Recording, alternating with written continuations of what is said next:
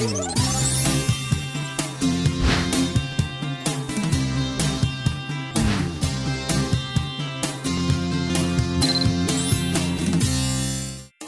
สดีครับ อร่อยเลิศกับคุณรีดในวันนี้ พามาที่ร้านกิวกิวเต้ สาขาพระรามสามแห่งนี้ครับ บรรยากาศภายในร้านเหมือนอยู่ที่ญี่ปุ่นเลยล่ะครับ แต่คุณยังสามารถดื่มด่ำกับวิวริมแม่น้ำเจ้าพระยาได้อีกด้วย ที่นี่เป็นสาขาความอร่อยเลิศลำดับที่ 7 ของปิ้งย่างสไตล์ญี่ปุ่นแท้กิวกิวเต้ครับ คุณจึงสามารถมั่นใจได้ในคุณภาพและมาตรฐานในการคัดสรรเฉพาะเนื้อเกรดพรีเมียม เพราะเจ้าของร้านคือกูรูด้านเนื้อโดยเฉพาะ ด้วยการสั่งสมประสบการณ์จากร้านปิ้งย่างอันดับหนึ่งในกรุงโตเกียวมากกว่า 20 ปี ที่สำคัญไม่ต้องกังวลในเรื่องของกลิ่นควันติดตัวเพราะเตาของทางร้านติดเครื่องดูดควัน เมื่อปิ้งย่างก็จะดูดควันทันทีครับ และวันนี้สมศักดิ์ศรีร้านที่มีความเชี่ยวชาญด้านเนื้อระดับพรีเมียมแน่นอน จะเป็นอย่างไร จะมีสิ่งใดมานำเสนอ คุณหรีดและพี่พันธ์กูรูอาหารอินเตอร์ รออยู่ที่กิวกิวเต้สาขาพระรามสามแล้วล่ะครับ วันนี้หรีดอยู่ที่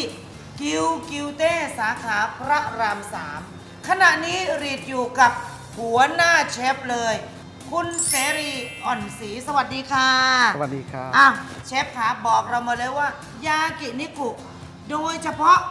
ทุกอย่างบินมาจากญี่ปุ่นทั้งสิ้นคือเนื้อโอมิกิวนะครับ ไม่ใช่ว่าทานแล้วนุ่มละลายในปากอย่างเดียว ยังเป็นประโยชน์ต่อสุขภาพ เพราะว่าย่อยง่าย เพราะว่าเนื้อโอมิกิวของเรานี่เลี้ยงอยู่ในสถานที่ธรรมชาติ ทั้งน้ำมาจากภูเขาที่บริสุทธิ์จากธรรมชาติของญี่ปุ่นครับ อะ นี่คือ ถ้าเป็นเนื้อของญี่ปุ่นเราเรียกว่ามิซุจิครับผม ภาษาไทยว่าใบพายครับผม อ้าวทานไปเนื้อเอาหมูบ้าง อันนี้หมูโทโร่ครับคือส่วนลำคอของหมูครับผม โทโร่หมายถึงว่ามีเนื้อกับมันแทรกอยู่ครับ อ๋ออัอันนี้เป็นส่วนผิวหนังข้างนอกครับไขมันมันจะไม่เจอครับ จะเป็นเหมือนคล้ายๆหมูป่าเป็นลักษณะอย่างนั้นครับผมอ่าครับไขมันไม่จับตัวใช่ครับผม พ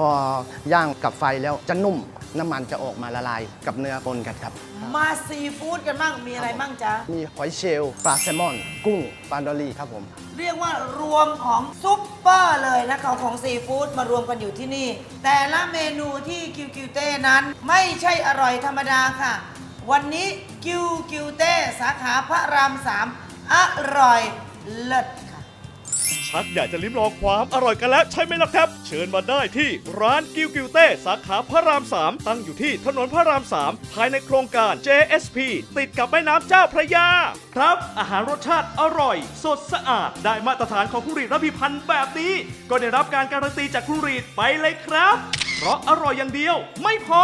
ถ้าเป็นคุณรีดต้องอร่อยเลิศเท่านั้นครับ เคล็ดลับของผลไม้ ที่เรารับประทานเข้าไปแล้วเป็นมิตรต่อร่างกายในเรื่องของการดูดซึมได้อย่างดี 1. แอปเปิลทานวันละหนึ่งผลนั้น จะเป็นการช่วยย่อยและดูดซึมของร่างกาย เพราะว่าแอปเปิลมีวิตามินซี มีวิตามิน A และมีโฟเลต 2. มะละกอสุกมะละกอสุกนั้นมีสารปาปาอิน มีคุณสมบัติในการช่วยย่อยโปรตีนในท้องของเราทำให้ในการดูดซึมสารอาหารได้เป็นอย่างดี และ 3 พวกเราก็นิยมแคนตาลูปนั้นมีกากใยมีวิตามินซีมีเอนไซม์ที่ช่วย ในการย่อยอาหารต้านมะเร็งในลำไส้ของเราด้วย วันนี้ลาไปก่อนนะคะ แล้วกลับมาพบกันใหม่ สวัสดีค่ะ อร่อยเลิศค่ะ